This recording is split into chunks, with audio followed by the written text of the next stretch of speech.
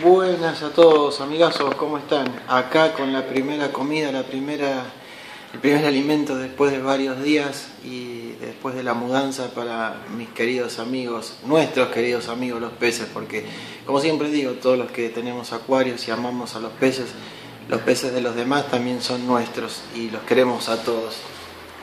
Como siempre les pido disculpas por el tema de la vibración y todo eso, es que eh, todas las filmaciones las hago con, con un humilde celular, con un Samsung Galaxy S3, viejito del año 2012, pero que todavía se está defendiendo bastante bien.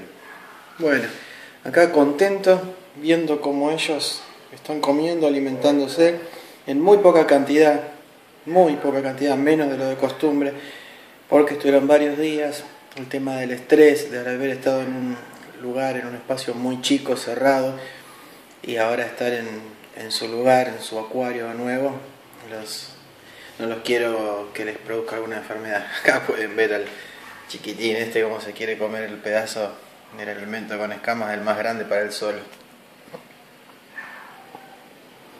Una miradita hacia arriba. Así va, va quedando y va tomando forma nuevamente el hogar subacuático de estos queridos amigos, nuestros, nuestras mascotas, los peces. Como se darán cuenta, es como que traté de crear dos, dos zonas, ¿no? Delimitadas. Esta zona un poco más oscuras, con, con otro tipo de troncos y otro tipo de plantas. La zona del medio, más iluminada. Y más iluminada aún todavía la zona de atrás del lado derecho como, e izquierdo, pero como se puede ver, con aquellas plantas que necesitan más agua, eh, más luz, perdón, y es donde se esconden siempre los borrachines y los neones. Ahí está nuestro amigo el tetracongo. Como siempre, nuestro amigo, nuestros amigos, la parejita de Black Molly, arrinconándose arriba donde hay plantas flotantes. Es increíble cómo les gustan las plantas flotantes a ellos.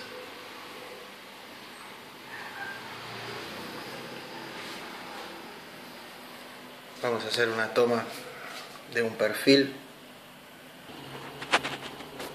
Acá está la toma del perfil. Ahí se puede apreciar la, montaña, ¿no?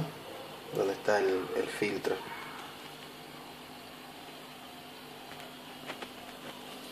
También se puede apreciar el color blanquecino del agua.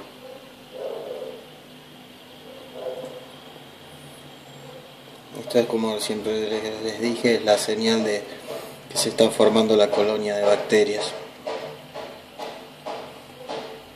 Por cómo va todo hasta ahora, creo que en pocos días ya, en 48 horas más, el agua ya va a estar totalmente cristalina y con las bacterias bien, ya bien, bien, la colonia de bacterias formadas, ¿no? Porque realmente pensé que no, pero estudiando un poco y averiguando, el bactocin de tetra es muy, muy bueno. ¿eh? La verdad que ante un caso de urgencia se los recomiendo. No es que esté haciendo propaganda porque no me lo regalan, al revés, me salió carísimo. Estoy ahora endeudado por la cantidad de dinero que me costó poder comprar esas dos cápsulas y aunque parezca mentira, carísimo, hacemos un giro así. El sustrato nutritivo, el abono de tierra para el fondo, carísimo, carísimo. También carísimo la, grava fina, como esa como arenilla. Muy, muy caro. Pero está bien, preferiría, prefiero yo no comprarme cosas para mí pero tratar de que esté todo lo mejor para ellos ahora y empiece a desarrollarse todo bien, este ecosistema, este biotopo, y poco a poco ir agregando cada vez más plantas. Por ahora, las que se ven aquí.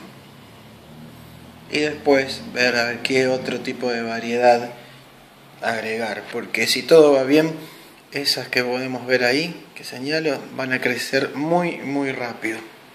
Suelen crecer muy rápido, por lo menos a mí me dio una gran alegría todo eso. Incluso estas que se ven acá, que están en la parte de arriba del tronco, se enraizaron solas, como esa que está ahí media suelta, se enraizaron solas en el musgo y ahí empezaron a crecer, no es que las agaté con nada. Así que bueno, esto es otro video para compartir con ustedes con la primera alimentación después de, de, tanto tiempo de llevarlos de acá para allá y con la mudanza. Bueno, espero que les haya gustado, les mando un abrazo grande, que Dios los bendiga. No se olviden de suscribirse, darme consejos porque a mí me sirven y me ayudan muchísimo, yo aprendo de ustedes, así que todos los consejos que me puedan dar para ayudar a los peces, eh, estoy abierto a escucharlos. Les mando un abrazo grandote y bueno, espero sus comentarios y sus consejos. Abrazos amigazos, chau.